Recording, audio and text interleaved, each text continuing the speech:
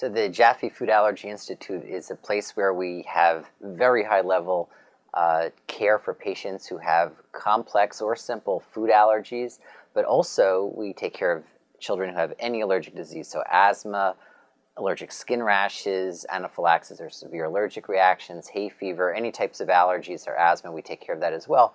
But we especially emphasize our work on food allergy. We do research, we do um, the management of food allergy and diagnosis, and uh, really are cutting edge in that area. So there's a lot of excitement about research in food allergy. Um, we're one of the cutting edge locations for research of all types, looking at better diagnostic methods, at better treatment methods, and trying to figure out how you can prevent allergies. So, and, and also how many people are affected and why.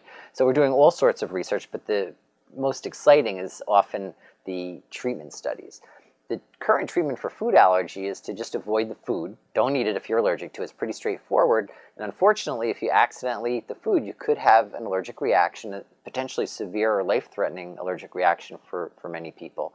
And so it becomes very serious. And the treatment for a severe allergic reaction today is to give a shot of adrenaline or epinephrine.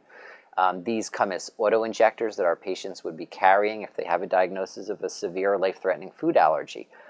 So the current treatment isn't that great. Avoid the food, have medicine ready to treat a problem breathing, and get to the emergency room to get more care.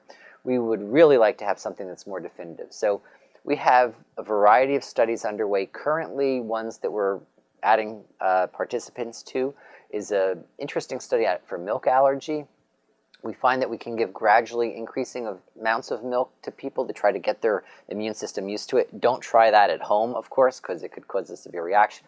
But we do this under supervision very gradually and are studying uh, this. It's not a treatment that's uh, routinely available. It's a, it's a treatment trial, but we're also combining it with the use of an injection that's called anti-IgE that sucks up some of the allergy proteins that cause problems for people. And we're trying to see if this combined approach will be effective.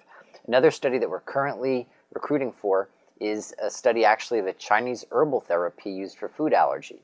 Now, this was something that was devised by one of our doctors here, Xiumin Li, who actually studied uh, traditional Chinese medicine in China, um, where it's called medicine.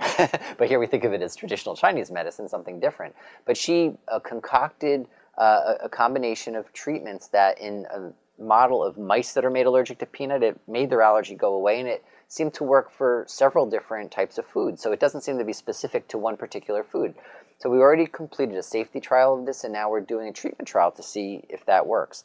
And you can look uh, up these and other trials that we're doing at uh, our websites or at clinicaltrials.gov websites to get more information. But we have a variety of studies going on trying to get better, uh, maybe vaccine therapies, uh, and also looking at whether there are different ways of giving the protein that someone's allergic to them in different ways that might not trigger an allergic reaction, but make makes the, hopefully will make their body accept the food so that they can eat it again.